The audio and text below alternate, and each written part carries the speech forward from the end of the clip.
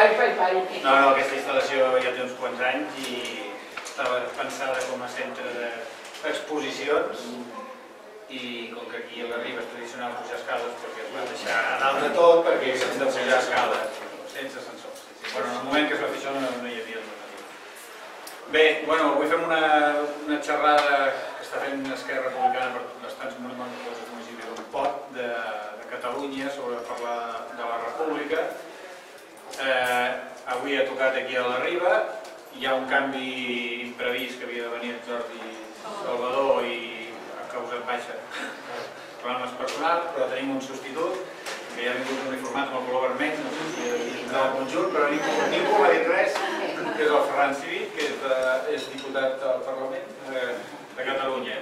Saben que més teníem una visió des de els que estan treballant a Madrid i, i donant la cara a Madrid, que això ja és més difícil, però també en tindrem de, una visió d'aquí de, de Barcelona. Uh, ja estem... Jo, mireu, he sortit fora del país perquè el senyor president digui el dia de la data i la pregunta. I sense WhatsApp, però al final me va arribar i vaig pagar de Catalunya perquè el president se decideix. És un... Ja sabem on hem d'anar a parar, tothom està molt nerviós i però hi hem de treballar. Els que estem aquí vindria a ser els mateixos, ens falten uns quants, però som els que anem a l'autocar per les, de la setmana. Sí, sí, però i, i des de fa uns quants anys que ja hi anem tots. I des, pràcticament ens falta els gegants, que, Ja has vist, ja. Ah, ells no fallen, doncs, però bàsicament, bueno, Más o menos.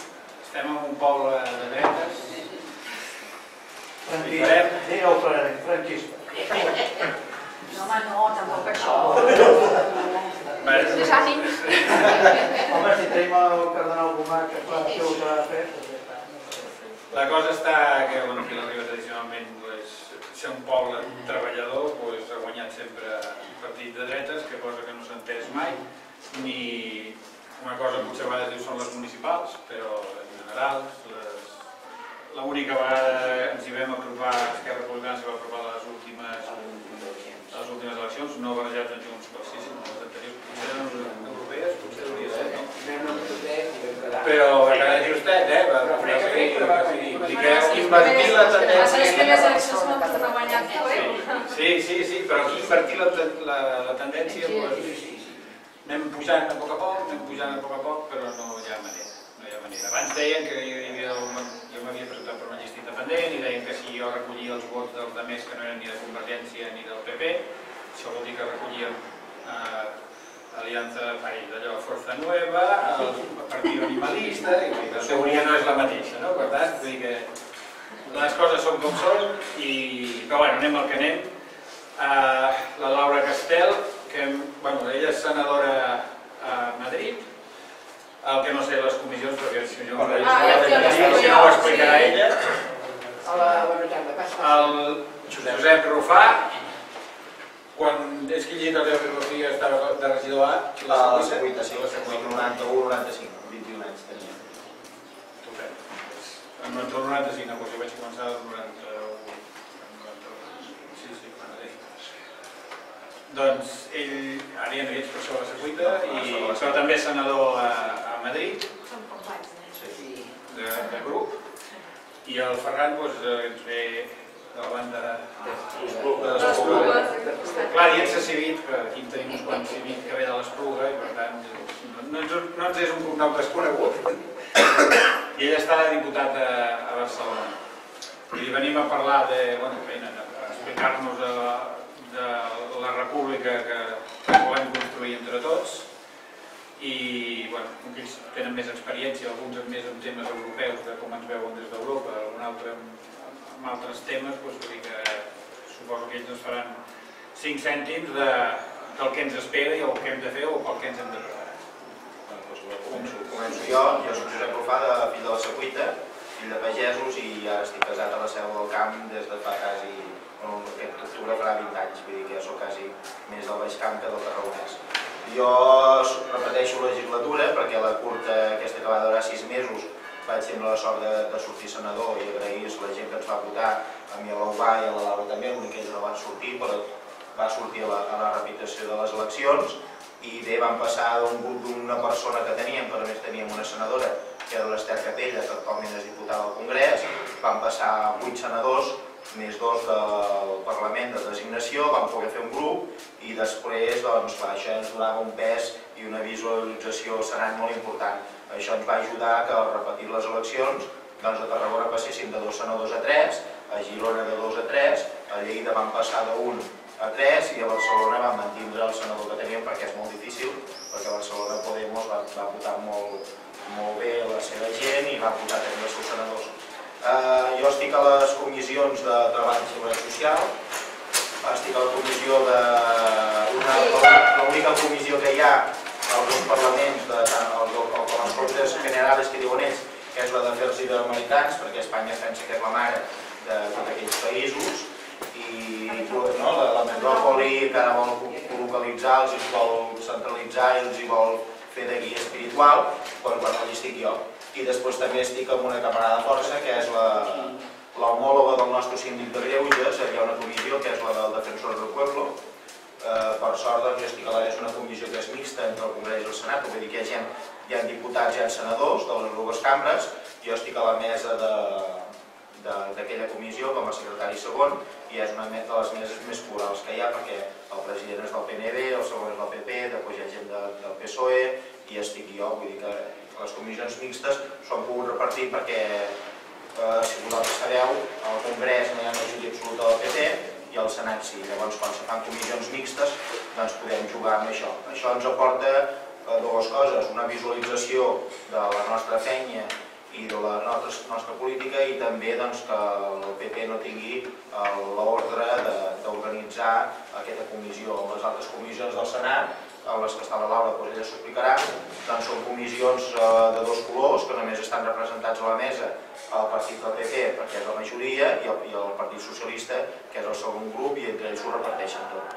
Excepte una comissió, que és la de, de pressupostos, que té una persona del PSC, que és el president, el, president Montilla, que està allí de senador, els altres totes les presideixen el, el PP, tots els vicepresidents són del PP, per tant tot costa molt més i són molt difícils de treballar amb el que havies dit el Jordi Salvador, que amb el Congrés, que el Congrés al no tindre majoria el PP a les meses, doncs són més hàbils i els partits es tiren a l'hora de presentar esmenes i presentar resolucions. Jo ho deixo aquí, si voleu us passo a la Laura, que es presenti una mica ella eh, d'on ve i cap, a, on va. Jo sóc Laura Castell, vaig néixer a Lleida, per això tinc aquest accent així tan, tan occidental, eh, però ja fa, no sé, 20 anys, estic aquí. I, i bueno, eh, he sortit senadora aquesta segona vegada, perquè la primera va sortir, eh, quan, bueno, que hi havia encara el reduf de Junts pel Sí, doncs la gent va fer bastant vot creuat i llavors feien la creueta els dos primers eh, nombres de, que eren els dos d'Esquerra i el tercer, en lloc de ser el meu, doncs votaven a l'alcalde de Reus i l'alcalde de Reus va sortir la primera vegada. Eh, I aquest cop no, aquest cop a mi em van donar com a més de 5.500 i pico vots més i diguéssim que vaig sortir. Eh, estic a les comissions de Constitucional, com a portaveu a la Comissió Constitucional, que de fet eh, no, de moment no he fet pas gaire cosa.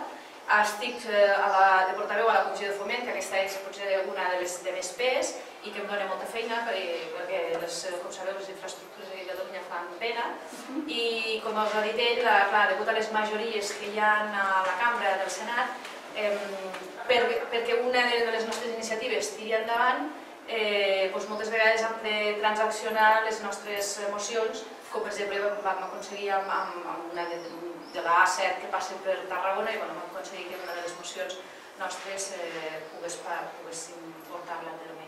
Llavors, un altre, soc també portaveu de la Comissió Mixta de la Unió Europea, que són aquestes comissions que parlava ell, que són Congrés-Senat, que aquí també, eh, per exemple, en el cas de, de, de la presidència és del PSOE, i llavors hi ha diferents grups perquè hi ha més pluralitat eh, i llavors aquesta sí que em permet fer eh, bastanta política internacional. Eh, què vol dir això? Per exemple, doncs eh, tenim, tenim en marxa una ponència per l'estudi de les conseqüències del Brexit i aquí, per exemple, han anat passant eh, personalitats de, de, de la Unió Europea que et donen l'oportunitat de, de tu com a, com a Esquerra Republicana doncs, fer llançar eh, denúncies i, i, i explicar coses que a ells no els hi arriba, perquè el que els hi arriba a ells és normalment la visió del govern espanyol, que és una i que no és la que, la que realment està passant. Eh, dins d'aquesta comissió mixta, a part de la ponència aquesta del Brexit, també eh, hi ha delegacions a dins de les organitzacions internacionals eh, a la part parlamentària. Per exemple, hi ha el Consell d'Europa, que nosaltres no hi som, però hi ha altres com el PNB, o, evidentment el PP i el PSOE sempre hi són, i Ciutadans segurament també, i llavors els altres us van tornant. I a la que sí que estem per primer cop, i, està, i ha sigut molt interessant, ha sigut la OSTE, que és l'Organització per la Seguretat i la Cooperació a Europa, que hi estan representats 57 països, començant per Estats Units fins a Rússia, Ucrània i, altres, no? per tant, a part de la de i amb aquestes reunions que es van tenir, que van tenir lloc, doncs, la, eh, diguéssim, som parlamentaris de diferents parlaments i, i llavors jo, jo estic clar, lògicament dins de la delegació espanyola, la bandereta espanyola allà, eh, però tenim l'oportunitat de parlar, encara que siguin microintervencions de 3 minuts o un minut i mig, depenent de, del temps que ens doni, perquè també de cada debat se, pues, tu te, demanes inscriure per parlar. Llavors, per exemple, si hi ha 30 persones que volen parlar, doncs ells diran en un minut us heu d'explicar, en un minut has de compactar el missatge. I això és el que hem fet i, i, i bueno, doncs, ja bueno, va sortir molt per les xarxes una de les meves intervencions denunciant la judicialització del procés de, de Catalunya, de, de la manca de, diguéssim, de separació de poders i tal. I això pues, ha tingut bastanta repercussió perquè la gent no, no està acostumada a tindre aquesta visió diguéssim plural dins de la delegació espanyola perquè tenien sempre una visió diguéssim unifocal. I, i això pues, eh, per exemple ara, ara aquesta setmana que ve doncs, eh, aniré a Albània de, a fer d'observadora electoral dins d'aquestes funcions que té l'OSTE de fer observació electoral a altres processos arreu del món que, que, que vulguin tenir observació electoral Llavors, una de les de fer contactes amb altres parlamentaris, mirar com està el tema, tantejar el terreny i convidar-los. Convidar-los a que vinguin, a fer, a, a fer diguéssim, que vinguin aquí a, a, a fer, fer per entendre trobades amb el govern i l'oposició de diferents grups polítics i ells també diferents grups polítics perquè coneguin de primera mà què és el que està passant a Catalunya. I això crea pues, certes complicitats i, i anem teixint xarxa i això doncs, ho vaig fer a Malta a la, a la COSAC, que és una altra organització dins de la Unió Europea de, de parlamentaris que tenen comissions de, sobre la Unió Europea i et permet doncs, això, anar fent, anar fent, anar fent petites quotes malaies, no? d'anar llançant el missatge i, i anar fent, la, diguéssim, combatre una mica la diplomàcia que té Espanya, que és molt forta i que està treballant molt i de manera molt bruta eh, per, intentar donar una visió que no s'adiu amb la realitat. I, i bueno, pues això una mica és el que ens dediquem, a part de la Comissió de Foment que us he explicat que té bastantes, eh, diguéssim, el corredor del Mediterrani, ports, eh, xarxes viàries, rodalies, i, i amb això estem eh, a tope perquè bueno, és un, diguéssim que el nivell del que partim és molt baix i per tant, eh, pues això, això és el que fem. Passo una, la a la visió catalana. Bones tardes, bé, ja no soc el Jordi Salvador, el Ferran Civit, no vinc de Tarragona, vinc dels Pobres Francolí, i queda dir doncs, que avui aquí, jo no sé si aquest aire que me fa venir, perquè si no vindré a dormir aquí, perquè aquestes nits són horroroses, aquí aquest aire que s'està és fantàstic. Aquí abans ho comentàvem a l'hora, aquí vaig a la plaça, aquest és el d'aquests típics pobles que molt sovint la gent hi passa i el veu de la refiló, quan va per la carretera, però no hi ve. Jo, I jo m'agrada molt aquest poble perquè en certa manera és la metàfora d'aquest procés, perquè fins ara, aquests 300 anys, tot i que ha estat una mica un infern i ha estat molt dur, eh, hi hem hagut alts i baixos, però estem en una fase doncs, que aquí, com els carrers de, de la riba, mica en mica anem pujant per arribar al cim. Vosaltres, com que ja porteu molts anys vivint aquí, teniu uns bessons ben preparats, ja esteu acostumats a pujar, però al país li costa. El país no està acostumat a, fer això. I ara portem tota una sèrie de temps sobretot eh, arran de les mobilitzacions de la Diada de l'Assemblea, bueno, que abans ho he comentat i si s'ho vol tocar, bueno, jo era el, el, conjuntament amb l'Ignasi Termes el que muntem les Diades i després d'això doncs, vaig acabar a la llista de, de Junts pel Sí. Doncs, gràcies a això, aquest procés ha començat a fer el costa amunt. El costa amunt no perquè sigui difícil, que ho és, sinó simplement perquè anem a un cim. I aquest cim eh, l'hem de fer tots plegats. Aquest sí hem de fer no només els que estem al Parlament de Catalunya, que ara mateix és, eh, té les competències d'una diputació gran, però sense els seus recursos econòmics, és, per desgràcia, el poder, el que es diu poder, són aquesta parella d'aquí, el Jordi Salvador, els que ho veuen, perquè tu estàs allà al Parlament de Catalunya i ara mateix la immensa majoria de les potestats, de les competències, tenen ells. Bueno, Bueno, perdó, ho veuen, ho veuen com ho tenen els els veiem altres. passar. Ho veiem passar, sí. Es veuen passar i van pel PP, eh, socialistes i ciutadans fan i desfan. Ara aquí a Catalunya estem en una fase que podríem dir que ja estem aquí a l'alçada de la Gomà Camps, no? ja que he parlat d'un nom bastant famós, que per cert hi ha el cardenal Gomà, però també hi ha la Patricia Gomà, per compensar una miqueta, que si l'altre... I és que t'he vist, dic, la cara, no sé, ets la mare, potser? És que sou clavades. per, per salvar-ho, feminització, democràcia, eh, fatxa eh, republicana, vull dir, hi tot el, el contrast, que és aquesta diputada i que ara està al govern, i, no, i diria que encara no sé si és professora a, la- a la facultat, no? no? A no hi ha, hi. Doncs mica a mica això anem compensant. Jo crec que estem a aquesta alçada, ara ens falta una miqueta més. I això què vol dir? Uh, aquí estem guanyant alçada i on hem d'arribar? Doncs hem d'arribar a Farena, hem de remuntar tot el riu Brugent i hem d'arribar a Farena. Arribem a Farena, anirem allí al, al restaurant de l'alcalde de Montreal, que té un restaurant allà, i ho celebrarem. I ara, doncs què hem fet? Del 2012 fins ara hem arribat a alguna camps. I ara comença el més divertit, el més divertit, que és el tema del referèndum que sabeu doncs, que ara fa aproximadament doncs, de, de 8 en 8 de la setmana passada doncs, es va donar oficialment la data i la pregunta i ara es veurà que després de tantes mobilitzacions, després de fins i tot haver fet un assaig de referèndum com va ser el 9 de novembre de 2014, doncs ara va debò. I ara va en sèrio. I ara les urnes es posaran a tots i cada un dels municipis. Governi qui governi a quin municipi. Governi qui governi. I els posarà el govern.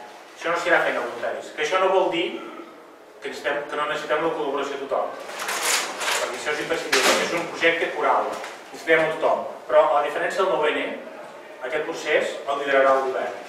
Perquè unes urnes les ha de posar el govern. No, no, a l'època del voluntarisme s'ha acabat. Ara és l'hora de la veritat. I potser encara haureu de continuar fent una altra autobús a Barcelona el 11 de setembre enguany, segurament, però potser se'n necessitarà algun altre més. Perquè com a catalans, com a govern, com a grups parlamentaris, que, els que estan a Madrid, els que estem a Barcelona, els que, estem a les, els que estan a les diputacions, els que estan al, al Parlament, nosaltres ho donarem tot fins al final. Perquè des de Catalunya nosaltres oferirem totes les opcions democràtiques possibles perquè el poble s'expressi. Ara bé, l'estat espanyol farà servir totes les opcions, democràtiques o no, per evitar que nosaltres ens expressem. I per això és molt important doncs, de que a la feina que estan fent ells dos, conjuntament amb, amb altres diputats, amb els senadors, ja tenim Jordi Martí, no tenim altres coses eh, d'exteriors al Senat, que busquem complicitats. Penseu que com a país ningú, ningú, a excepció d'algú que se li escapi, que algun país ja ho ha fet, però, però ja ràpidament tocat el seguida. doncs ningú dirà que reconeixerà. Ningú. Per tant, no esperem que, no, és que si tu té aquest, l'altre, no, oblideu-vos a mi. No, ningú dirà res fins al dia 1. I ho diran després del dia 1 de que haguem posat les urnes, de que haguem votat majoritàriament i que haguem obtingut clarament també una opció guanyadora. I aquesta opció espero que lògicament sigui el sí. A partir d'aleshores tothom es posicionarà. Perquè penseu que a les repúbliques bàltiques, a països com Eslovènia o Croàcia, tots i cada un dels països europeus, tots i cada un dels països europeus, van dir que no, van dir que no, fins que no van proclamar la independència. Van dir que no. I aquests països, curiosament, doncs ara, per exemple, la presidència torna a la Unió Europea, la tindrà un d'aquests països que va, es va independitzar doncs, a principis dels 90. Presidirà la Unió Europea. Eh? Us recordeu que quedarem fora de la Unió Europea, per l'espai i anirem per, l'espai exterior perdut tota la vida, els segles dels segles a més. Doncs això no passarà. Hi haurà un moment que, lògicament, si nosaltres tenim força com a, a diputats i senadors que estem ara desenvolupant aquesta tasca, els que esteu als ajuntaments, eh, independentment del context polític, perquè la Riba, podeu explicar el context aquest, però segur que hi ha municipis que estan pitjor, eh? Perquè la Riba es posarà les urnes i la votareu. Però si baixem francolí avall, Ja sabeu que Francolí Vall tenim una sèrie de municipis que no tenen gaire predisposició a posar les urnes. I hem de fer de que la ciutadania d'aquest municipi vulgui posar les urnes. Començant per Tarragona, continuant per Salou, continuant per la Canonja, continuant per Constantí i pot ser uns altres més. O fins i tot, o fins i tot, doncs Altafulla. El seu alcalde és el diputat d'en Comú Podem per Tarragona. O sigui que allò que diuen que estan a favor del referèndum, doncs ara, lògicament, ho han de demostrar que estan a favor del referèndum. Nosaltres volem arribar allà dalt. Volem arribar a una república. Per què volem arribar a una república? Volem, per què volem arribar a Farena? Eh? En lloc d'anar a Ítaca, nosaltres volem anar a Farena. Doncs per què? Perquè, un, tenim tot el dret, que això és el més important, perquè és un dret universal, el dret d'autodeterminació, no és només allò per les cubanes que alguns diuen, això és un dret universal. La reina Isabel II, per exemple, que ara ha fet 91 anys, aquesta senyora, amb els seus 91 anys d'història, ha vist 135 independències. 135 independències, això vol dir que eh, amb els seus 91 anys d'història, d'aquests 135 des d'aquella governa, tranquil·lament, 80 o 90 ambaixadors que no s'ho pensaven han vingut a saludar i presentar els respectes. Moltes antigues colònies de... Moltes antigues colònies que de la Commonwealth, doncs clar, si aquesta senyora no s'ho pensava i li hem vingut, doncs potser Felip VI, algun dia algun ambaixador o una ambaixadora catalana, properament li anirà a presentar els seus respectes. Un, tenim tot el dret. O dos, tenim el deure. De què? El deure de fer una societat millor i més justa. Fins ara s'ha vist que sota l'estat espanyol som ciutadans de segona. No tenim els mateixos drets pel fet de, de viure en aquest, en aquest territori que els ciutadans de l'estat espanyol. Tenim una situació a l'estat espanyol que és una còpia barata d'administració de l'administració francesa. Una còpia barata i que funciona malament. Tenim una situació en la qual tota una sèrie d'empreses de l'IBEX 35, oligopolis energètics, constructors o el que sigui, i bancaris, lògicament, fan i desfan tal com volen. No sé si heu vist avui les notícies del rescat bancari, no sé si les heu vist. 60.000 milions d'euros. Així. Perduts. Perduts, eh? O sigui, per això dir, és com si ara agaféssim, aboquéssim aquests camions que us passen aquí tot el dia, carregat de bitllets de 500, eh? perquè si no, no fa, no fa gràcia els bitllets de 500, i ho aboquéssim al riu. Saps què? Pim, pam, va. 60.000 milions d'euros què és? 60.000 milions d'euros doblem el pressupost de la Generalitat. Les dues vegades el pressupost de la Generalitat. 60.000 60 milions d'euros. Amb aquestes coses doncs nosaltres volem una altra opció. Primer, volem deixar de donar sempre les culpes a Madrid. I dos, ser nosaltres els responsables dels nostres èxits i dels nostres fracassos. Que tindrem fracassos moltíssims, però ja no tindrem, un, la responsabilitat ni l'excusa barata i fàcil de dir, Madrid, que el 99% dels casos és certa, però per l'altra, la part positiva és que com mínim nosaltres i els catalans no som ni millors ni pitjors, som igual de rucs i de lletjos que tot tothom. I els que estan a Madrid també som igual de rucs i de lletjos que no allà. L'única diferència és que tenim més voluntat democràtica i l'altra cosa també és que tenim més voluntat de millorar. A molts els hi o sigui, tenen un partit amb desenes de casos de corrupció i continua sent el partit més votat de l'estat espanyol. I aquí a Catalunya, com sabeu, darrere del PP, que és el penúltim o el penúltim de totes les eleccions, jo crec que demostra que hi ha un decalatge polític entre l'estat espanyol i Catalunya. Aquí a Catalunya tothom es vol emmarallar en la immensa majoria dels casos amb els països nòrdics, com a mínim. I els països nòrdics també tenen moltes coses per millorar. Però nosaltres hem d'anar cap aquí. Nosaltres hem de ser, com a mínim, una Dinamarca eh, del sud pel que fa a energies renovables. Hem de tenir un estat del benestar com el que té Suècia. Hem de tenir un model de mobilitat sostenible a base de, de, de vehicles elèctrics i d'hidrogen, per tant que no contaminen, i de vehicles compartits com té Noruega. Hem de tenir un sistema educatiu com tenen a Finlàndia. I podríem continuar amb una llista de coses, de coses, de coses, de coses, que des dels diferents departaments de la Generalitat s'estan analitzant, s'estan comparant per agafar els millors casos d'èxit que funcionen arreu del món. I no només a nivell europeu, sinó també a nivell de, de, del món, perquè s'està mirant, per exemple, el tema de l'agenda, que ho he sap una mica de números, no? Doncs, pel tema de l'agenda, s'estan mirant models de països en els quals l'evasió fiscal, sigui, la gent que s'escaquegi de pagar, o l'al·lusió, que és aquesta, la màgia comptable, no? que te pagues una cosa, pagues una altra, i, i que generalment l'evasió com l'al·lusió fiscal, el 90% dels casos, no és allò el lampista o el paleta o aquell de això ja, fem-ho jo i no... I, i l'IVA ja està, no, no l'adverem i, i tots contents, que també n'hi ha i que també s'ha de combatre, però és que la immensa majoria són d'aquestes grans empreses multinacionals. O sigui, aquestes empreses o aquests bancs que hem rescatat amb milers i milers de milions d'euros, que us oferim unes tarifes que després repercuteixen amb vosaltres, que no tributen aquí i que després els donem ajudes i que continuem tenint milers i milers de milions d'euros de benefici. Clar, aquí no tenim l'oportunitat de canviar-ho. Com l'estat espanyol tenim el, la concentració de poder que gran part es veu al Senat o al Congrés, però que realment on està concentrat és al Palau del Bernabéu. És el Palau del Bernabéu. Doncs això s'ha de canviar. I no perquè nosaltres vulguem que això s'aclareixi a la llotja del Camp Nou. No, perquè això s'ha de fer amb total transparència, amb total justícia i amb total correcció, perquè els diners públics són de tothom, des del primer a l'últim cèntim, s'ha de fer des del sistema públic, des del govern. O sigui, s'han d'acabar els sanxudos. I per això és molt important dissenyar un model en el qual tinguem l'oportunitat de fer un país millor. Sigui, tenim tot el dret, però sobretot tenim el deure de fer-lo. I per això és molt important que munteu els autocars per una diada, però aquests que encara us faltin, que dubten, parleu-hi, importantíssim, perquè no hem de perdre ni un sol vot per cada barbaritat. El 9 va ser un assaig, va ser molt important. Va ser una mobilització més, inclús una altra diada, però en aquest cas no vam fer l'autocar. Per tant, ens vam estirar el xou aquí, hem de aparcar aquí, hem d'aparcar allà, ens de venir a buscar, i arribem a casa doncs, al cap de 10 hores, i lògicament, com recordava el Josep, de comprar la samarreta. Aquí podreu anar amb, samarreta, i si fa fresca, si voleu, sense samarreta, això és opcional. Però podreu votar. Però això és molt important que parlem amb la gent, que sumem més gent. Aquí no ha de faltar ningú, perquè aquest país que volem, com diem millor, el diem per a tothom. Per a tothom. Independentment si hagi votat a favor o en contra. Que encara esperin que potser Espanya ens oferirà un model federal. Parlin el català o no parlin el català.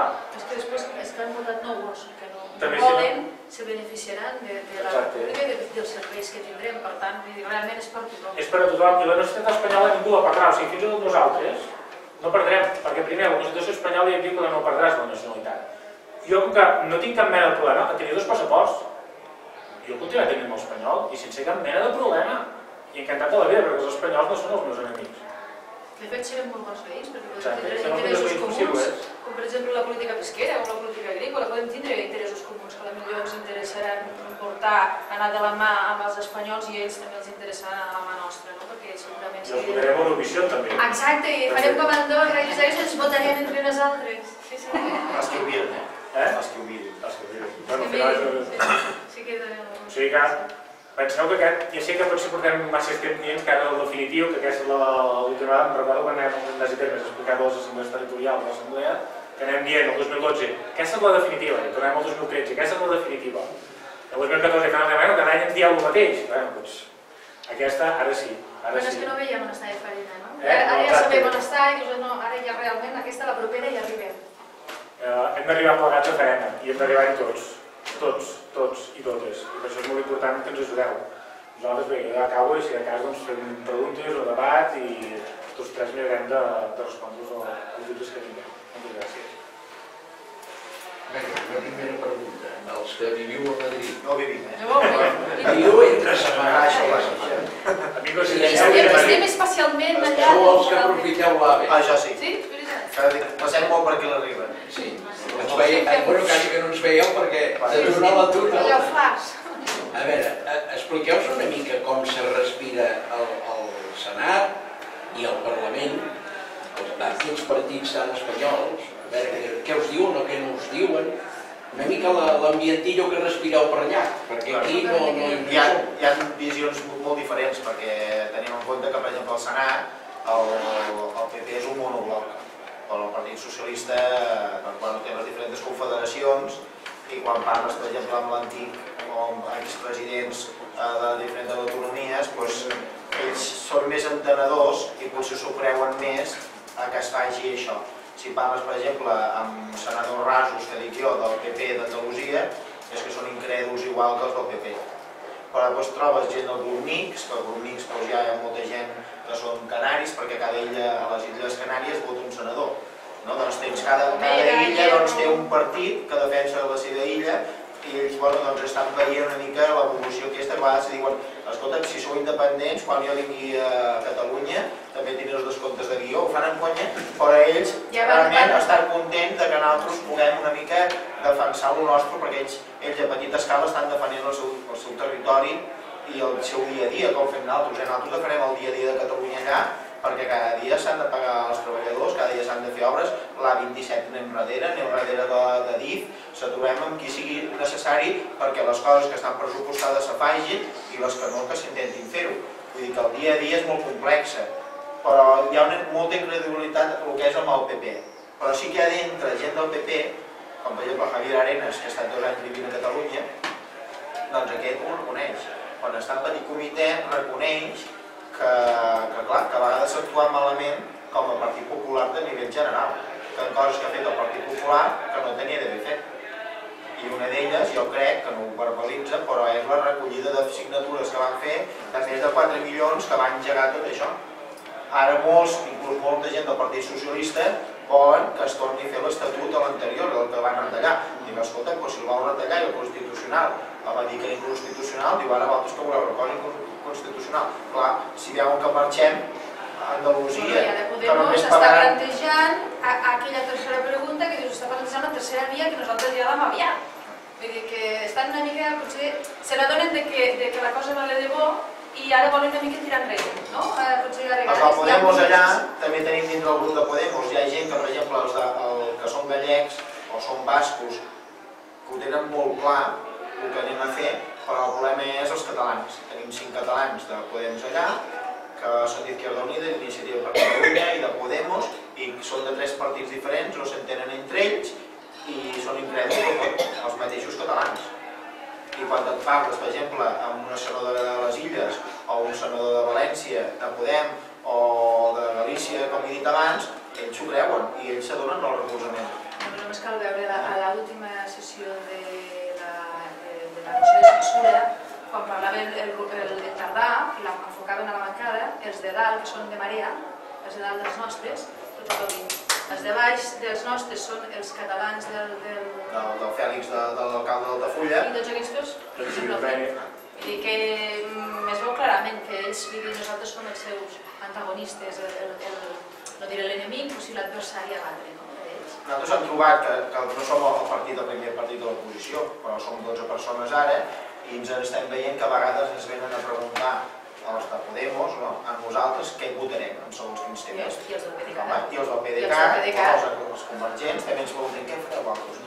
Som, som, ara som, el referent partit de som el referència. partit de referència de, de Catalunya, a més a més, de, de la majoria dels senadors, tots són, tots són d'Esquerra Republicana.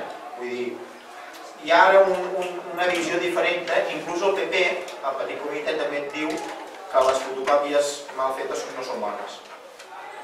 I això refereixen a la gent de, Convergència. Que la gent de Convergència ells els veuen com a traïdors. Traïdors els pensaments hi ha una amistat que tenien perquè ells jugaven en Convergència també a pactar quan tenien minories on estaven uns pressupostos o quan tenien majoria absoluta Convergència també els hi provava moltes lleis. Doncs clar, ara, com que resulta que això no ho tenen, els veuen com a traïdors. Potser Convergència era un, un, partit molt gran, ara potser la gent que queda dins del PDeCAT són diferents, però clar, ells els veuen com una fotocòpia borrosa i que no els agrada. Els diuen moltes vegades els tracten molt malament els plens comparat amb altres. Nosaltres ho respondran, però les tasques que diuen ara pel Twitter, no, això ho he fet un tasca tal. Els convergents Sí, els hi foten molt. sí. Per què? Perquè els diuen són uns traïdors. Perquè fins arriba la dreta catalana, la També dreta canvi, hi ha hagut un canvi amb la, que li explicava amb ell, eh, amb la última, la, la, la conferència que va vindre el president, vicepresident i el Romero a Madrid, que va ser ja la, eh, aquella conferència que va dir fins aquí hem arribat, eh, ja no, bueno sí, estaríem assentats a la taula de negociació fins a l'últim dia, però vaja, ja no hi ha més temps, ens tirem endavant.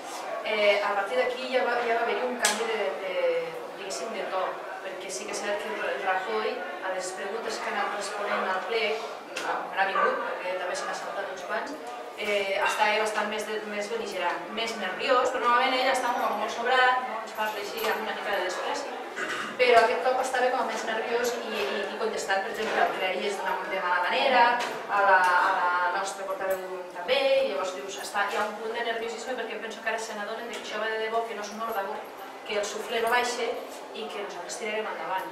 I que, i que hi ha un president i un vicepresident que hi ha una sintonia que tiren endavant i que hi, ha, que hi haurà urnes. I, I això, per exemple, que parla ell de, de, de, dels, dels senadors, per exemple, que jo vaig tenir una conversa amb la, amb la Víboras, que és, de, és un, una, Exconsellera d'Agricultura del d'Andalusia. d'Andalusia, no, no, no és una persona pas eh, ignorant, és una persona tal, pero bueno, eh, socialista, y él va a decir, bueno, pero ¿esto vosotros cómo lo hacen? Y digo, bueno, pues fe, dan, dan urnes y tal.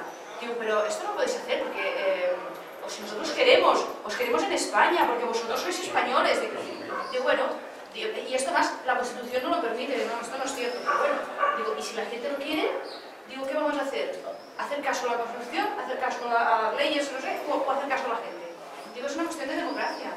Y cuando, a mesura que anava ella dient no, però que esto no lo podéis hacer porque no sé qué, pues si la gente lo quiere, clar, va arribar un moment que va xocar contra la paret perquè no, no, d'aquí no passava. Jo, jo la meva resposta, resposta sempre, si la gent vol, nosaltres la nostra obligació és, és donar els mitjans.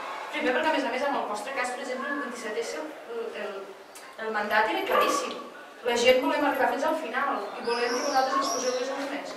Llavors, la, la, nostra, la nostra missió també dir, és molt clara, no ens, no ens dir, nosaltres som independentistes anem allà a fer la desconnexió el millor possible.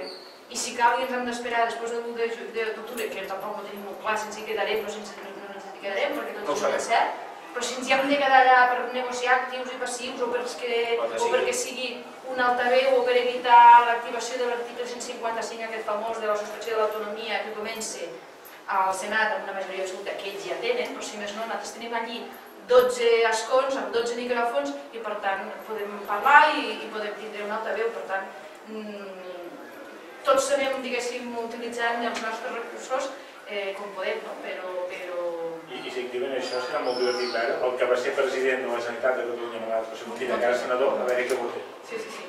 A veure què vota. Eh? Una pregunta. Aquestes poblacions i ciutats grans que ha dit vostè que no estan, Vas parlar tu, eh?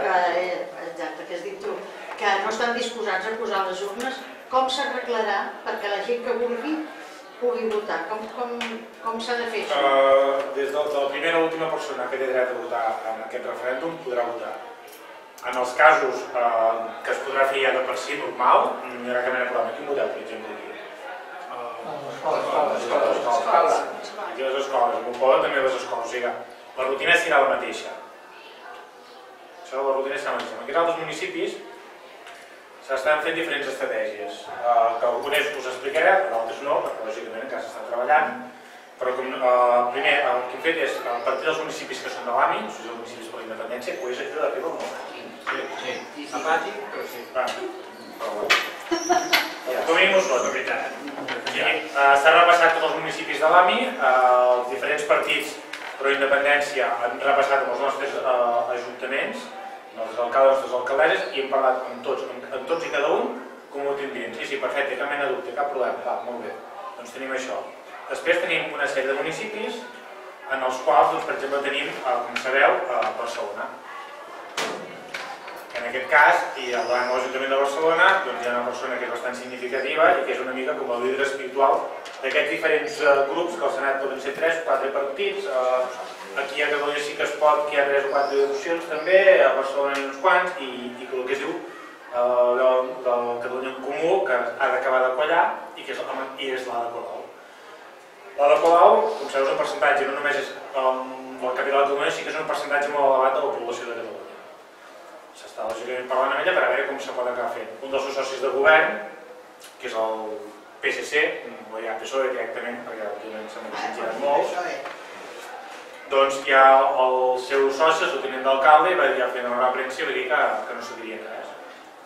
Tranquils, calma, s'està negociant, s'està parlant, llavors vindrà aquest municipi i vindran doncs, altres més petits, com poden ser el Prat de Llobregat, el govern d'iniciativa, com pot ser Altafulla amb el Fèlix Alonso, perquè clar, si tu dius que estàs a favor del referèndum, estàs a favor de la democràcia, que tinc patapam, ara, no, ara doncs, m'estranyaria que no ho fessis quan tens l'oportunitat de fer-ho. Doncs, anem sumant. Després, uns altres municipis que també són més complicats, que serien, doncs, per exemple, el, alguns dels socialistes, Hospitalet, hi ha diferents, Tarragona, la, la Canonja, Constantí, Lleida, que també ha dit el que no, que penseu que el Ros paper ha fet, eh? ha fet tots els papers de l'alta, eh? Sí, sí, sí. sí. Però clar, si ha fet un tom, Versàtiles, eh? si ha fet un tom de 360 graus, potser pot tornar a començar a fer-ho. Sí, sí, igual, sí, sí. igual has d'acabar l'any ho És pensa. que el sol resseca.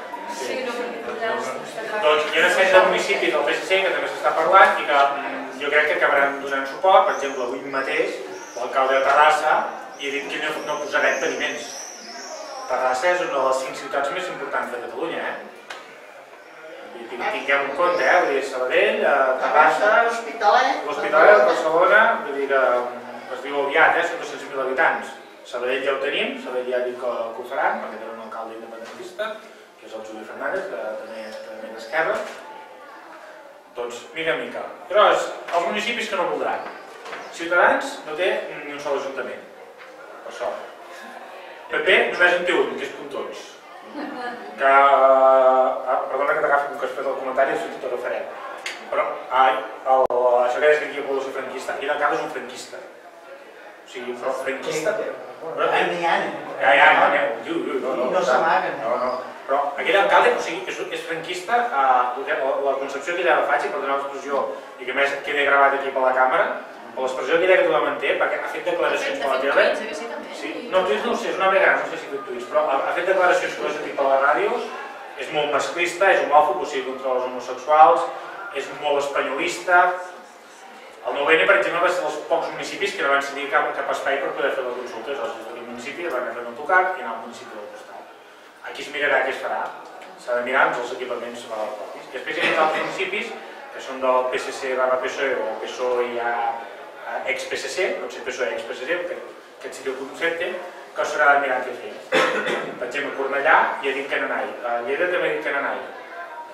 En tots aquests municipis grans, a tots aquests municipis hi ha equipaments de la Generalitat. Per tant, exacte, instituts o centres cívics que poden ser... O sigui, no serà allò que ho farem en un centre cívic d'una entitat dels castellers, dels castellers de la Riba, per exemple. No, no, jo sé, però no s'ha fet vergonya. Doncs, el, clar, doncs, el tenir no passarà això, hi ha diferents equipaments que es pot fer. El Pontons potser serà més complicat en aquest municipi del Penedès, però per la resta hi ha municipis on tenen suficientment equipaments institucionals per fer-ho, perquè no sembla allò que ho fem de fireta. O sigui, s'ha de donar la màxima normalitat, la màxima institucionalitat, perquè la gent vegi que això va de debò. La gent, participants, els organitzadors, però sobretot els que venen de fora, perquè ara la, la Laura comentava que anirà d'observadora electoral, que es fan sovint aquestes missions d'observació electoral, en aquests països de transició democràtica, diguem-ho així, perquè el tema de la democràcia encara s'ha de consolidar bastant, doncs seran moltes, moltes visites. Clar, aquí, com que l'estat espanyol no l'avalarà, doncs també vindran observacions internacionals. Hi haurà una missió d'observació internacional i s'està acabant de negociar perquè vinguin.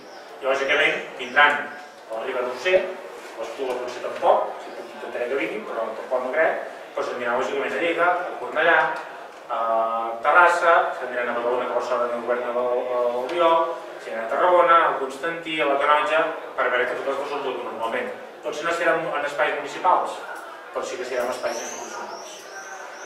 El cens, com està el cens? És important també.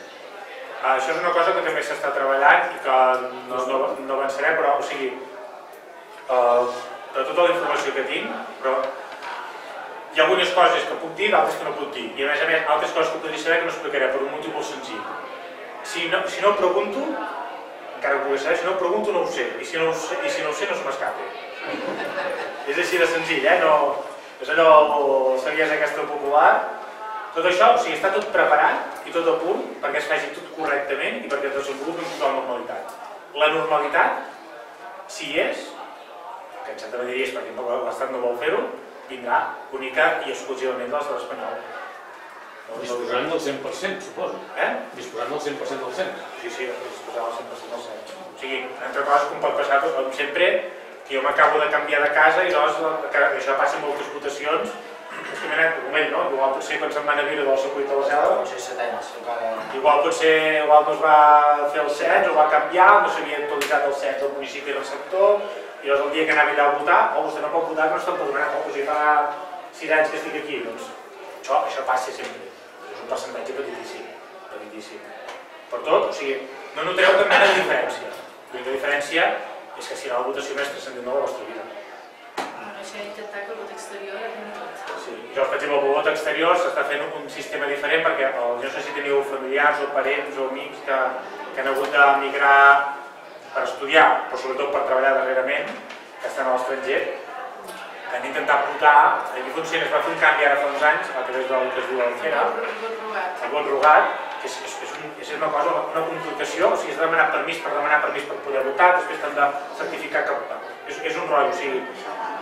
I, i que eh, sí, sí, Però bueno, ara s'està intentant tornar enrere. eh? S'està intentant, però bueno, ja ho veurem, perquè clar, això depèn del, del, dels dos partits majoritaris.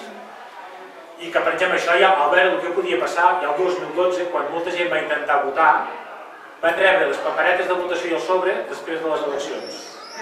Clar, o sigui, aquest sistema no el farem servir nosaltres. El sistema dels estrangers se farà un altre sistema i per això també és molt important. El CERA és un cens dels, dels espanyols residents a l'estranger. Uh, com que no es votarà amb ambaixades, el que heu de demanar a tots... Eh? Si no recordo malament, des d'aquest canvis, abans hi havia una mitjana de 32% Sí, sí, i ara un 8%. Sí, sí, un set, sí. sí, sí. O sigui, ja un, ha baixat brutalment el que és de complicat. De Per la complicació. I com que no tenim aquest cens dels estrangers perquè funciona a través de les ambaixades, o sigui, quan un ciutadà se'n va a viure a l'estranger, doncs se va apuntar a l'ambaixada i que estic aquí vivint, sabeu allò que típic que quan si hi ha accidents, que tu comencen a trucar a tothom, a veure si tenim tots els ciutadans espanyols, francesos, el que sigui, tots localitzats i que estiguin sants i estalvis, doncs en aquest cas, aquest cens nosaltres no tenim accés. Tenim uns eh, comptabilitzats uns 200.000 catalans i catalanes a l'estranger, no tenim la xifra 100% exacta perquè la potestat és 100% de l'estat espanyol, i llavors el que s'està demanant és a tots els residents estrangers que s'apuntin al cens de la Generalitat. I llavors a partir d'aquest cens es- aquests podran votar. Per això és molt important que si teniu familiars amics a l'estranger, els insistiu, sisplau, que s'apuntin, perquè encara falta moltíssima gent. Moltíssima gent, moltíssima gent. I no pot ser que la veritat, ai, és que avui no em va bé. És que avui no, això ja ho faré demà. Doncs demà potser haurem perdut. I també és fàcil aquesta gent de votar que els catalans que viuen a Madrid. Per exemple, l'altre dia vam estar amb gent de l'NT Madrid, que són catalans que viuen allà de fa molts anys, o el casal, el casal català que tenim al costat del Senat, el Plaça Espanya, i a l'edifici hem tingut eh, associacions de representants, doncs ells, els, cos- ells no podran votar. Perquè ells tenen una residència a Madrid, o la tenen a Segovia, o la tenen a, a Móstoles o a Valladolid. Diu, és que no podem votar ni que, ni que anéssim a Tarragona ni a Barcelona, diu, perquè clar, nosaltres estem ja censats a Madrid des de fa uns anys, no? Es deia, clar, això és un problema, diu, diu, estem fent de cara a l'exterior, diu, però nosaltres no podem votar. Clar, perquè encara que agafin un tren i se'n vagin a Barcelona... No estaran no censats. estaran No censats, estaran, no estaran diem licents o diem una llista d'empadronats, no? Però això, ells estan una mica, estan molt contents, però alhora veu que això no ho podran votar. Perdona? La Generalitat no pot fer un cens d'aquesta manera, l'estranger. és No, per un motiu molt senzill. Perquè això és perquè ens entenguem, és que si tu vas a viure a Vilaverd, tu només pots votar a Vilaverd, no pots votar a Vilaverd. No? Però això és de, d'acord a la Riba. I m'estimo a la Riba i a Vilaverd només hi vaig a dormir i ja està. Mm, Jo vull votar l'alcalde o l'alcaldessa d'aquí, però no, perquè per a l'inversa podria ser per una banda de que, per exemple, vinguessin un munt de gent de- d'Espanya que Clar, viure que aquí. ens boicotegessin el... Clar. I llavors el CENS no pots fer-ho perquè llavors això, segons pautes internacionals, seria com una topinada. Per això aquella gent no els, els està molt contents, però I tampoc podem votar, perdó, i tampoc podran votar moltíssima gent eh, independentista que han vingut d'altres parts de, del món, que ara estan aquí, que estan col·laborant amb nosaltres, doncs aquests no podran votar perquè com que s'ha de fer de la, manera, de la mateixa manera correcta, la pauta bàsica és la pauta espanyola. Per tant, si no tens la nacionalitat, si no portes un resident, no sé què, no sé quants, doncs... O moltíssima gent que ens està ajudant fent actes i tot plegat, de la causa, l'Elit Castro, que posa com a sona, potser, l'Elit Castro no podrà votar polítics de, de tot de tot l'espectre, des de la dreta a l'esquerra, honestos, eh, coherents i lliures. O sigui que no, no depenguin de, de corruptors que vinguin a darrere, el que passi, fas això i tu tant. Sí, perquè si fem una república nova, els Clar. voten majoritàriament amb ells i són corruptes, tornarem a tindre O sigui, jo, jo vull polítics que, escolta'm, jo vull passar, fer aquesta carretera, no perquè algú em doni un sobresou, no perquè eh, penso en els interessos de la gent que potser necessita aquesta carretera. Jo vull que facin no sé què, no sé quants, no perquè a veure què penso si algú pot subornar gran percentatge per mi pel meu partit, no. I això vol dir des de qualsevol opció política, que sigui debatre d'idees, no per interessos de saber qui És el, el problema que està, que el, el que has dit tu, que en un partit hi ha masses divisions. I jo trobo que en partits d'esquerra sí que no, no tothom pot pensar igual, evidentment, però que estiguessin més units. I això aquí a Catalunya tenim aquest defecte. Ho tenim a tot arreu, això, eh? A tot arreu. A tot arreu. No sé, hauríem de fer més, més pinya. Com Esquerra també ho ha patit, això. Sí, sí, no, ja. Vam tindre una vegada que vam tindre quatre candidatures, no? En un congrés vam tindre quatre candidatures, vull dir, a veure, i això dels socialistes en tres, potser és la primera vegada que els hi passa perquè és la primera vegada que voten, com aquell que diu. I l'altra vegada va, va també van fer-ho i va guanyar el Borrell i després el van de Clar, l'estat. van Exacte, exacte. Vull dir que Esquerra també ens ha anat passant, però ho hem pogut sur- arreglar i eh, sobreposar el que havia passat i tirar endavant i confiança en els que hi ha sempre. Però Perquè Ja sabem el que ha passat anys. Esquerra trobo que ha fet una regeneració i altres partits el, no Els hi manca fet. això. I la gent jove que no ha estat allà, això empeny, empujado, a, a fer una regeneració. Home, nosaltres, per exemple, el grup del Senat, doncs la, ella és independent. Ella no és Jo militant provinc, jo, jo provinc d'Unió Democràtica. Ella no és d'Esquerra, no és militant d'Esquerra. Tenim una companya que és de Girona, que ella era, Socialista. era del Partit Socialista, de, del, d'Avancem, d'aquest partit de, de, de socialista que es diu Avancem, que és de Girona, del, del, no, de l'Helena. Vull dir, que hem treballat molt bé, treballem molt a gust i, Al, escolta, diputats, al? Congrés dels Diputats hi ha un, un, també un diputat que és de, d'Exunió també, després hi ha l'Anna Surra, que ella és del, Para- de l'Uruguai, eh, després hi ha el, el Gabriel Rufián, que De és Sumater, de Súmate, nosaltres tenim un el senador... Tabague, que és, que és marxista, leninista o jo què sé tenim un eh? Senador que, que és, és fill de la Índia però ja té nacionalitat espanyola. Vull dir, això ens aporta altres coses. Bueno, l'Anna Surra és... L'Anna Surra és a mi molt maca. m'encanta escoltar-la, perquè ja l'altre dia van fer una una trobada, una trobada a Salou amb gent de, de la Índia i del Pakistan, que hi ha molta gent, a Sí. Salou, molts que tenen comerços, molts que treballen, no? I, aquí- i, el, no? I el Robert els hi va dir ell perquè estava afiliat d'Esquerra Republicana, el perquè volia la independència i els va dir, doncs igual, diu, si nosaltres a la Índia vam voler la independència de la- l'imperi britànic, perquè ens volíem gestionar nosaltres millor o pitjor, però l'autogestió és el que volem per Catalunya. No? I vam estar, bueno, vam estar nosaltres dos, amb, amb el Robert, els regidors, farem més trobades amb, amb aquest, amb aquest eh, col·lectiu, perquè és un col·lectiu que també, per exemple, a partir de la ciutat cada 10 anys. Sobretot de cara, de cara a, la, a, quan hi ha la república, puguin tindre la nacionalitat, perquè el problema, per exemple, que ens transmeten tota aquesta gent és que ells voldrien tindre la nacionalitat espanyola, però que es passen anys i panys intentant tramitar-la i no l'aconsegueixen. Ells tenen un problema en alguns països que han de rebutjar la seva nacionalitat. Per exemple, el Robert va tenir de, de renunciar a la, la nacionalitat índia per tindre l'espanyola. Ara podia tornar a tindre la Índia perquè el, el, el, a la Índia sí que li permet tindre un altre passaport. Però a Espanya no, llavors podia tindre l'espanyola, l'Índia un altre, no? Però hi ha països en Sud-amèrica, que això jo ho veig molt perquè estic molt, molt amb, amb d'ambaixadors de diferents de països sud-americans, que molts sud-americans que poden tindre doble nacionalitat, o hi ha gent que té quatre. Perquè el pare és colombiano, la mare és venezolana, l'avi era espanyol, i no, hi- no hi ha cap problema, és el que deia l'Anna Ferran, no? perquè nosaltres han de rebutjar tenir una nacionalitat, si la, qui la vulgui no- rebutjar, que ja, ja ho farà. Però són d'aquelles coses que jo crec que sí que s'ha fet un gran pas en, en integrar gent a les candidatures, gent que ve de molts llocs. Per exemple, el nostre candidat, el Jordi Salvador, ell era, ell és, era de l'Urgell, tampoc és militant d'Esquerra. Ara Ara, se l'ha fet ara, Però tampoc ho era. Tampoc ho era, era el nostre candidat número 1. Vull dir, el primer senador de, de, de El Gandesa, ell, ell era, era un partit que es deia de la FIC. No sé si coneixíeu de, de la FIC. Bueno, doncs el, el Miquel Obà és senador per Esquerra i era de la FIC. Bueno, s'ha fet ara De fet, a les europees va ser quan va començar a haver-hi les llistes aquestes de... Més transversals, amb transversals, amb gent, de, diguéssim, totalment aliena al... al... Jo crec que això ha portat diferents visualitzacions del que és Catalunya i la, la seva gent, perquè no tots som, som iguals. Jo crec que és un bon camí.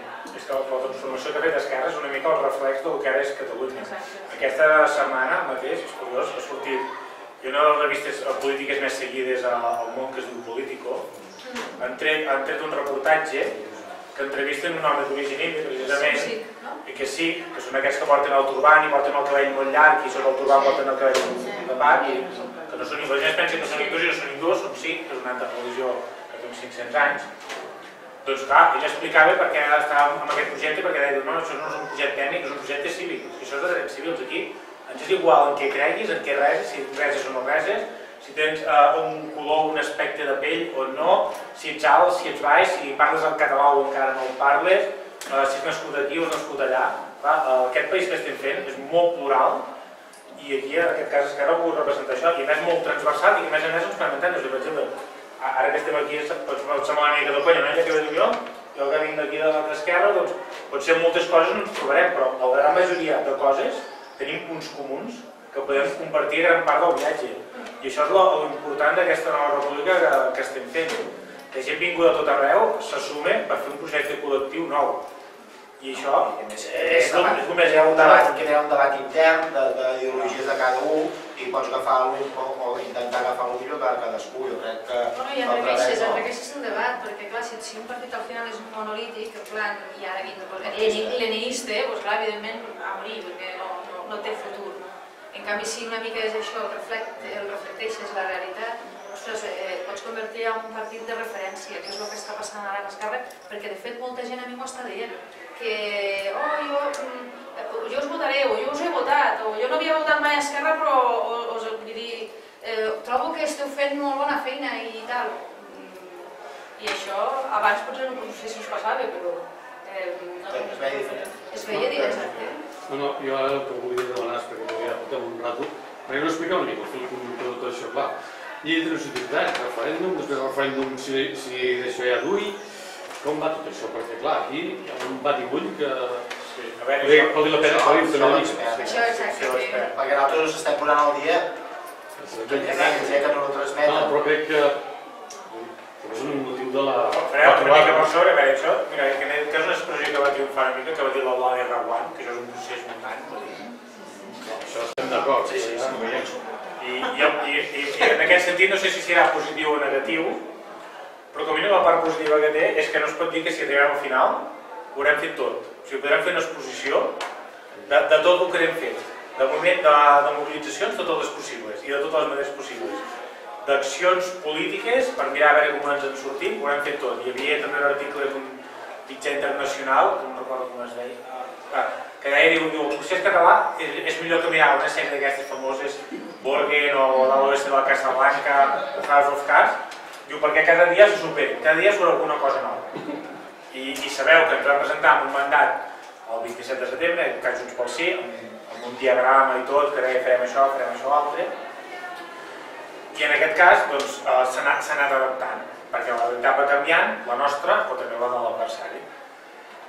Primer, veient com van anar els resultats, uh, i doncs d'acord amb els pactes que es va amb la CUP, doncs la cosa va venir, bueno, que això ha de ser un procés que tots ens hem de sentir, eh, integrants, partícips i protagonistes sobretot, doncs mira, com ho fem? Un, uh, Junts pel la CUP ens hem d'entendre, però clar, som aquests, però encara hem de ser més. I llavors hem de fer-ho d'una manera per sumar tota aquesta gent del volem. O sigui, que no tinc, hem d'arribar a una situació que no tinguin cap excusa, perquè ara, bueno, si el referèndum, i si no té garanties? Clar, jo m'imagino, ells que són de tradició marxista, clar, jo m'imagino allà a Lenin, abans de prendre el Palau d'hivern, La Van amb revolució, Trotsky. van a fer una revolució, Clar. ah, amb garanties, eh? garanties, clar. El, el Che Guevara i el Fidel Castro allà a Sierra Maestra, eh, fem l'assalto al Puerto de Montcada, no, Bueno, per- garanties, con garanties. Està permitit, però no està permès. Clar, doncs, mm, lo, lo, no, lo pactamos, fe- o- o- a- a- hacemos un asalto a, a, Però a, que són revolucionaris molt pocs revolucionaris d'aquesta gent. Ah, Vull són- dir, són, fan revolucionaris de sucre. Estan fent un, un discurs tan conservador, realment, Sí, sí. si l'analitza sota el, el punt de vista politològic, són, eh, són conservadors que... Ah, que no dic allò. Sí, sí. Vull dir, que realment és el que dius tu. eh? I llavors, clar, en aquest context, el procés es va adaptar. Aleshores, la situació que tenim, la situació que tenim. Uh, arribarem a l'1 d'octubre, que ja sabeu que hem de fer aquest referèndum. Farem tot el- tots els passos, pam, pam, pam, per l'1 d'octubre. El resultat uh, és que no. Uh, doncs, l'ha guanyat, tornarem, escolta'm, doncs, els portat fins aquí, doncs haurem d'obrir una nova etapa política. El president va dir que, que faria eleccions autonòmiques. Doncs, eh, el- guanyi. és la voluntat popular. Doncs, escolti'm, el Quebec va perdre dos referèndums, eh? El 80, l'any 95, el 95, per quatre dècimes, eh? Per no res, per no res. No, però Canadà, Canadà, a, a Quebec va jugar bastant. Sí, molt, moltíssim, moltíssim, però com mínim vam poder fer de dos. Aleshores, l'objectiu és guanyar, guanyem. Què passa aleshores? Jo suposo que igual, igual ja surt o Israel, Noruega o Eslovènia, algun país d'aquests que es reconeix. I la que es reconeixi, ja està. Sí. Però per, per, per, per, per, per, primer, primer has de fer un referèndum molt ben fet, que això és el, nostre objectiu, eh, que ningú pugui trobar cap pega de com s'ha fet malament i aleshores el resultat sigui contundent. Aquest és l'objectiu principal. Si ho fem bé, del, del, i després... 51%, eh? Perquè Sí, sí. si, si el guanya el no per un 51%, A se reconeix. Per tant, el sí també ha de ser un 51%. Aleshores, fem això. El, que, aleshores, el primer que es farà serà traslladar aquest resultat al govern espanyol per posar-nos a negociar el resultat de, i per implementar aquest resultat. Aleshores, en funció de com vagi, doncs eh, seiem i negociem què és el que voldríem i vostè té aquests actius i té aquests passius, molt bé, patatim patapam, tant de bo si és això. Pot passar això. El que vol passar és que eh, no sé què, no sé quants, doncs vindrà la Merkel o la Unió Europea o qui sigui, I Rajoy i dirà... agafeu, seieu-vos aquí vosaltres dos i us heu d'entendre. I llavors, en funció de com acabi anant, si això no passa, doncs llavors potser sí que farem directament la declaració d'independència. La declaració d'independència té el factor de transcendència, que tots ho volem dir, la gent s'imagina que sortirem al carrer en cava, anirem amb els cotxes a pitar pels carrers i sortirem amb les estelades com si el Barça guanyés aquí a una altra Copa d'Europa. Home, doncs jo no ho faré. Doncs em sembla que tan cansat que aniré a dormir. Però l'important serà quan siguem a la taula de negociació i el, i el fet formal de la declaració d'independència no si es fa el 2 d'octubre, l'endemà, sinó realment que tinguem la suficient força per fer-la efectiva. I per això és molt important. I llavors, en funció de la situació que veiem, en aquell moment, es decidirà si es fa aquella setmana o es posposa dos o tres dies, o 15 dies, o un mes, o el que sigui. No per, perquè no es consideri convenient o perquè no es vulgui fer, sinó perquè en funció del, del, del resultat que hi hagi es farà d'una manera o d'una altra. I aleshores pot ser, doncs, escolta'm, tal com van, doncs, bon vent i barca nova. Per tant, la, la, la declaració d'independència és una formalitat que es fa al Parlament. I podem estar tots molt contents i sortirem als 72, en aquest cas 72, jo estic segur que, el- que els demà hi serà. En aquest cas, posant en un extrem d'on hem posat ara, allí amb un regum als socialistes, però jo crec que també hi serà. Votaran, però clar, la declaració d'independència que de permetre també tenir el control efectiu de tot el territori. Aquí estem parlant del Port de Tarragona, el Port de Barcelona, els aeroports, eh, tot, el, tot el sistema de la xarxa elèctrica, eh, tot el sistema de pensions, el tema de, dels ingressos del diner, tot, tot, tot l'espai elèctric, tota una sèrie de coses que el, el, el llibre blanc del Totxo Nacional és un totxo bastant gros i el analitza tot i el, no et diu directament quins passos hem de fer, però lògicament fàcilment imaginables per, per fer el control efectiu. I, lògicament, una cosa que estigui clara, eh? encara que hi hagi una declaració d'independència, que la farem si ho guanyem, l'independència real, sabeu quan és la independència real? Real, real, real, és quan Catalunya i Espanya intercanvien ambaixadors. Això és en aquell moment efectiu i irrevocable d'aquests independents. I això, si guanyem el dia 2 d'octubre, o sigui, el dia 2 d'octubre, quan ens llevem al matí i veiem els resultats, que la nit lògicament no teniu ho sabrem, si veiem que som independents, no serem independents encara. Haurem votat independència, però no serem independents. I, però fins que no hi hagi Jo no aquest estic dia... d'acord amb això. L'intercanvi de, de, de, de, de, de, de, de protocols diplomàtics, d'això, es pot parlar tres anys. Sí, eh, no, per això dic, per però, això tu a les primeres 48 hores que te reconeix Israel, te reconeix, reconeix els Estats Units, te reconeix Alemanya, no sé què, i ja està. I ja està, eh? Sí. Jo ho veig així. No, no, és que no, és contra... Eh, el dia no, no, dos. contradic, Si no et reconeixen, El dia 2, si, el si dia no et 2, reconeixen, Jo no sé. El dia 2 sabrem que hem guanyat tal com surti la Vanguardia. El Conde Godó, si ja, si ja està clar en català és que hem guanyat. Això, això va passar, això va passar a Eslovènia. A Eslovènia, Sí, sí. tots els mitjans de No comunicació fa anaven en tots contra, van l'endemà, expliquen tots els 40 mitjans... minuts abans el president de la Comissió Europea va dir que mai, mai, mai, mai reconeixeria Eslovènia. Mai, 48 hores. I al donar va reconèixer Eslovènia. el que vull dir amb això, bé, que en cap moment semblava que ens estiguéssim contradient, però estem contradient. Però, per exemple, a, a Islàndia va ser els primers que va reconèixer molt les repúbliques bàltiques o, o, o els primers països que es van independitzar a l'antiga Jugoslàvia, com Eslovènia i Croàcia, o estar durant sis mesos que està ella sola, eh?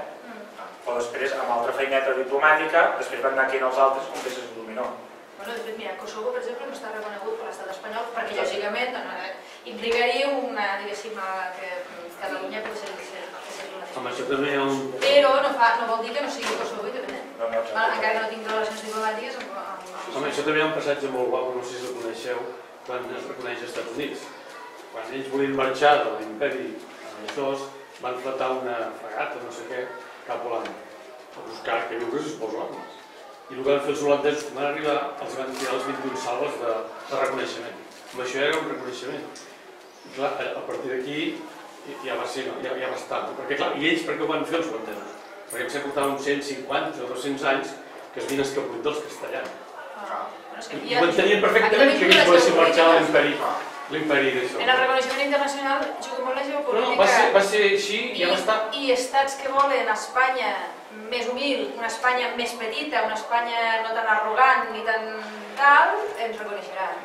I aquí pot, no sé, eh, m'ho invento, eh? però pot haver-hi Polònia, per exemple, que dins de la Unió Europea té el mateix pes, però que si perd Espanya a Catalunya, Polònia tindrà molt més pes de decisió dins del Consell Europeu i de la Comissió que fa tindran, i Espanya. tindran sorpresa algun país sud-americà, eh? Tindran sorpresa de que es pensen que, bueno, que les ambaixades nostres fan una feina allí de sota mà i anant apretant, Sí, anant però cap- apretant. Cap dels que van marxar de l'imperi espanyol el puc tornar. Ui, no puc torna. tornar. No n'hi ha cap que ho sàpiga, oi?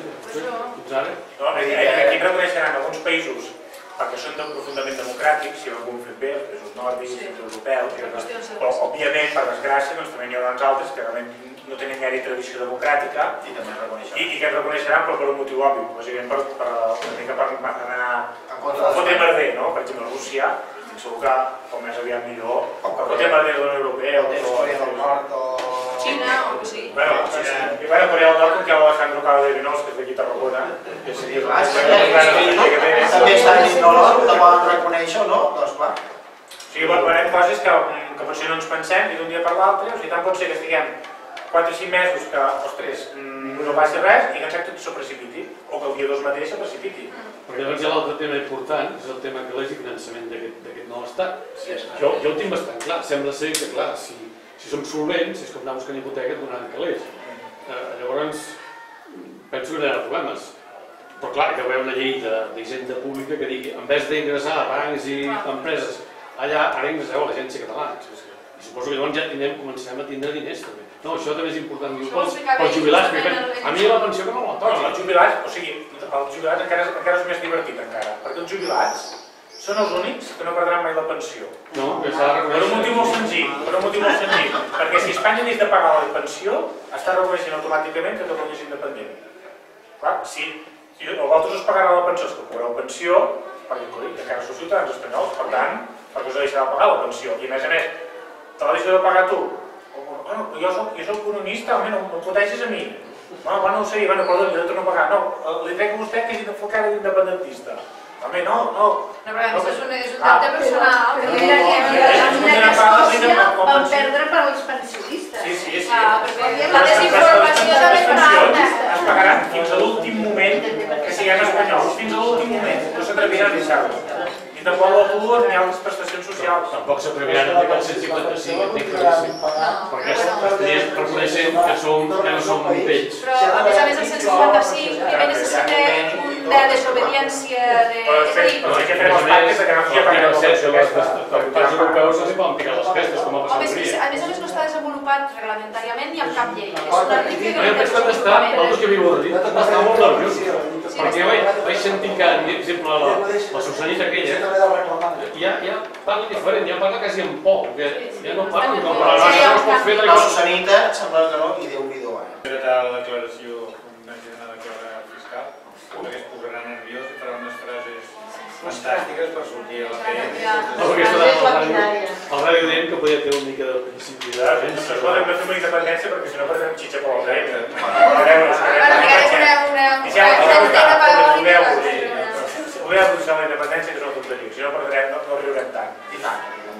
Una cosa, jo, a veure, el que estic veient és que ens estan fent la punyeta tant com poden, les estructures, per exemple, la rodovia, eh, el doble via de l'AVE, tot vull dir, d'una manera, la, la infraestructura que tenen que invertir a Catalunya cada vegada és més minsa, encara que diuen que ens estimen, que ens omplen de petons, que això es farà, que ja va dir, tot el que va dir el Rajoy no es pot fer res.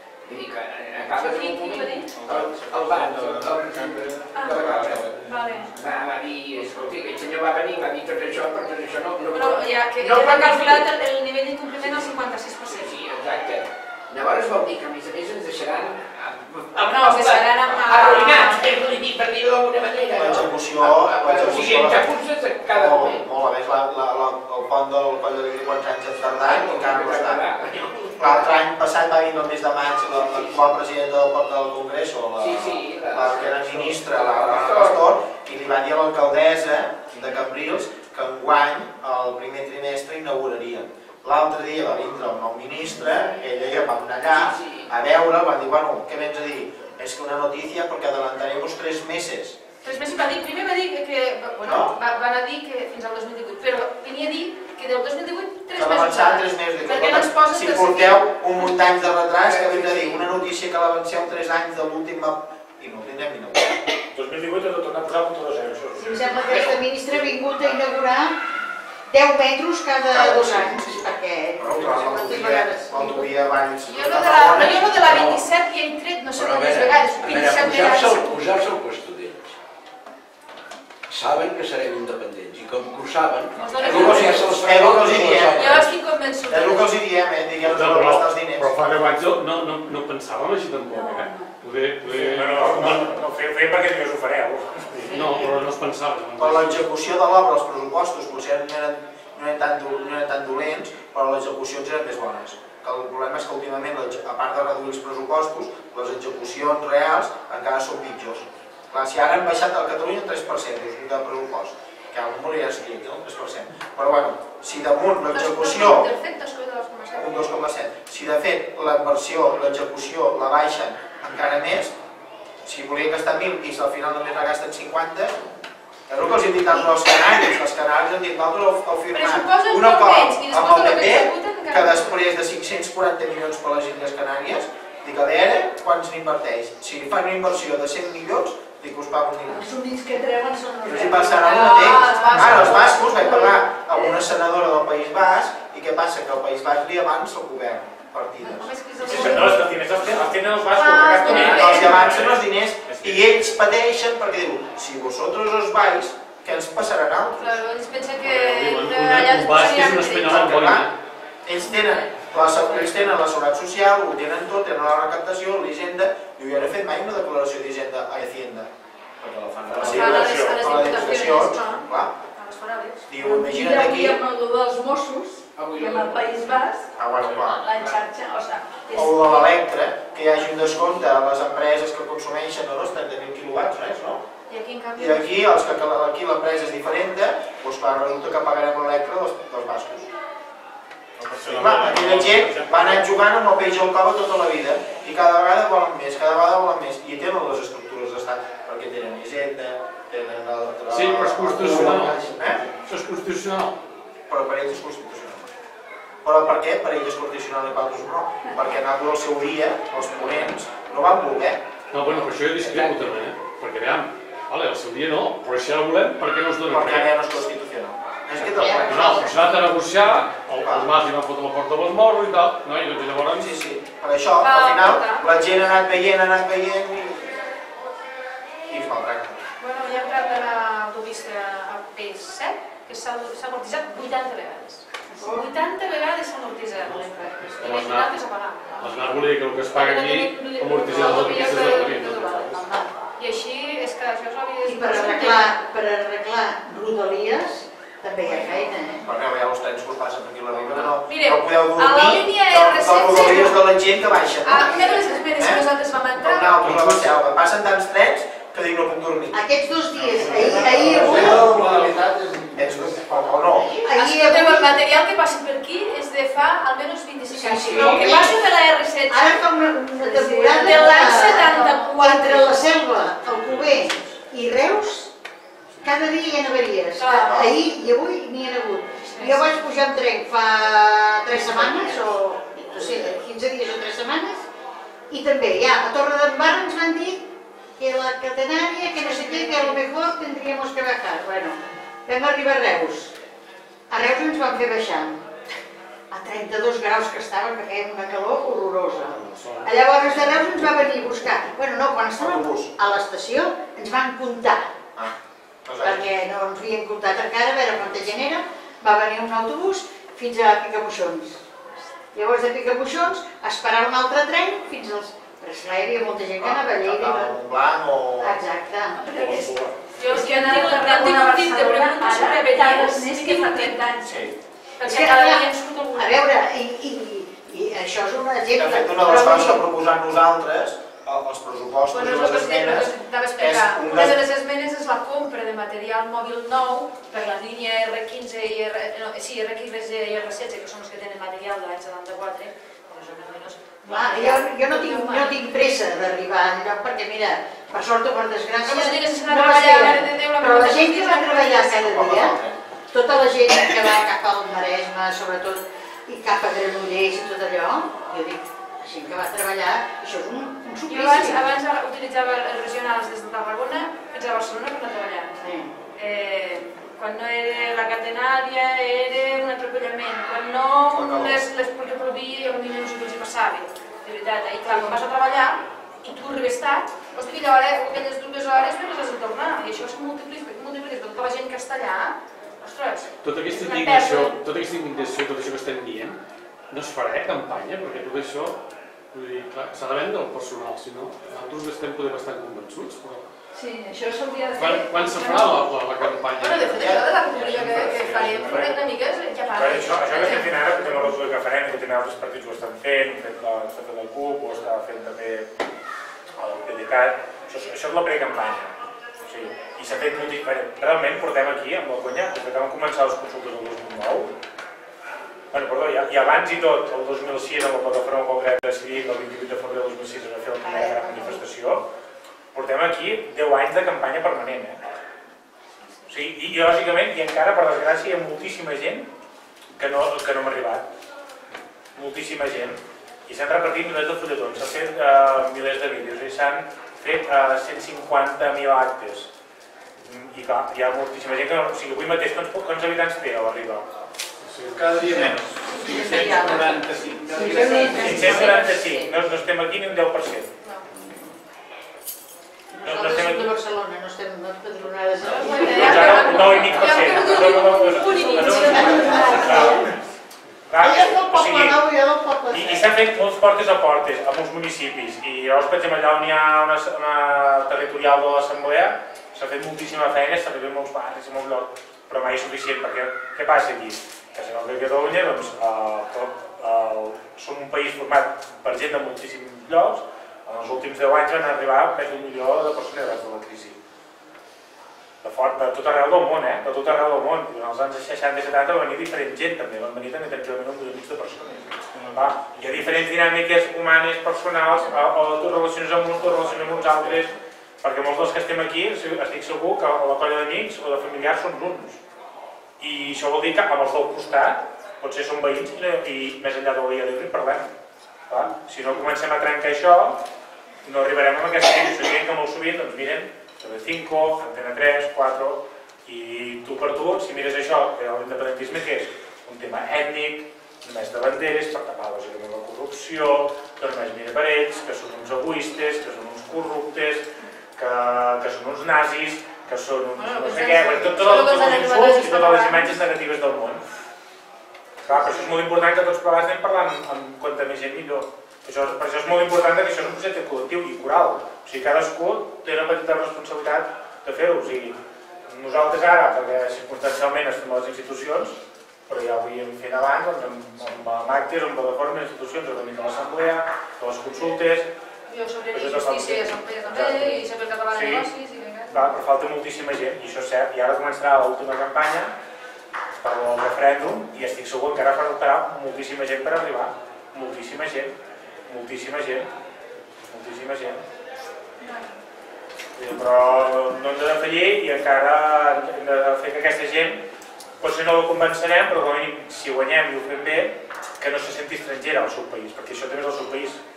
encara que faci potser un any que ha vingut aquí o dos anys. Hi ha un problema que és molta gent dels nouvinguts que han passat de viure molta gent amb la misèria on està persegut, no? en una guerra, i arriben aquí i això ho veuen molt diferent. Clar, no veuen aquella sensació, no? Llavors quan veuen que aquí arriben a un lloc que realment hi ha dos que es parlen dues llengües, que a l'escola la canaca, que no sé què, la integració van en fent, però per exemple molt, molt, amb els llatinoamericans que parlen castellà, que no tenen cap problema, és molt diferent arribar, arribar-los al cor, no? A no ser que siguin realment demòcrates o que tinguin algun problema que hagin a la seva vida i són els que potser estan més contents amb la situació actual, perquè ells no veuen que Madrid és una situació, bueno, el tren, doncs nosaltres no tenim de tren, o nosaltres cobràvem 300 euros i vivíem una xabola, doncs aquí tenim una casa, tenim tele, clar, és molt, molt diferent a la gent, al final tampoc no es compta, eh? I al final va calant la, la, la, la situació real, veuen que ells paguen uns impostos i no tenen dret a votar, veuen que ells tenen, paguen i no poden nacionalitzar si estan en un danys, doncs tot això amb el temps també els, hi, els afecta a, a, la, a la seva família, després que se casen amb gent d'aquí o tenen fills aquí, doncs no és el mateix. I llavors aquesta gent també ha anat canviant i ara molta gent ha marxat, molts immigrants han marxat en països perquè els seus països han anat a millor i molta gent doncs, que ha pogut estalviar molts tornen. Els equatorians, per exemple, han tornat i l'altre dia ens deien que hi havia més de 10.000 catalans, nens catalans, que viuen a Equador. Per què? Perquè són nens que han nascut aquí i nens que han anat a l'escolarització aquí i ara viuen allí al seu país. Per què? Perquè els seus pares han tornat, han fet uns diners, o, o aquell país està millor, tornen, doncs va, no, no tenen tanta implicació però hi ha gent que en té molta implicació. Llavors aquesta gent són la gent que va doncs, a fer trobades amb els seus col·lectius, no? per, amb mexicans, amb argentins, per explicar-los la necessitat i molta gent a través d'aquestes reunions veu quina és la problemàtica. I, i això, per exemple, a Madrid no, no, no ho veuen perquè la gent allà a Madrid doncs, els llatinoamericans parlen castellà, allí els hi funciona rodalies, el metro tens cada 3 minuts. Sí que és la gent la més, potser més més servil de les feines més dolentes que la gent no ha volgut, no? però poden anar tirant endavant, no estan tan mal vistos com segons quins altres països. Clar, doncs, això una mica cap on hem de millorar és traspassar la informació amb aquesta gent, que la gent aquesta és el que ha de farà Catalunya i ens ha de fer créixer, créixer en població, perquè si no creixem en població tampoc no tindrem un país. Eh? Us sembla si ho deixem aquí? Tingueu clar l'objectiu, hem d'anar fins a Farena. Jo pensava que només havíem d'arribar a Cap de Riba, però bé que... Més amunt. Vinga, més amunt. Pel riu o per Però el que passa és que com serà l'octubre no farà aquesta calorada. Segur que serà pel riu. El, el, el doctor més, si guanyem i una foto tots calços allà farem. Exacte. El que sí hem de ser més difusors de- d'aquest projecte i de que, bueno, que aquí aconseguim convèncer els indecisos, si és que n'hi bueno, ha. Aquí tenim una població d'origen immigrant de, no, dels anys 60 i pico que deies o d'abans i tot. Veritat faltaria que hi havia. Els fills ja s'han anat adaptant, però bueno, però n'hi ha que no, que costa, però bueno, suposo que... Però això, però això igual de abans, eh? Sí, sí, sí, sí, no, no, no, això no, no hi ha problema. Aquí les relacions és el problema és la, les escales. Les relacions van per cotes. Les que cadascú agafi la seva font d'alçada i convenci els seus veïns d'alçada. Amb la república que farem, com sobran tants diners, tants diners, tants diners, posarem escales mecàniques, les escales mecàniques. Només amb, amb la, amb la d'això, la vinyeta, la vinyeta, camió que entre, fa escala. Doncs, doncs res, gràcies a la Laura, Josep i el Ferran per haver vingut i... Molt bé.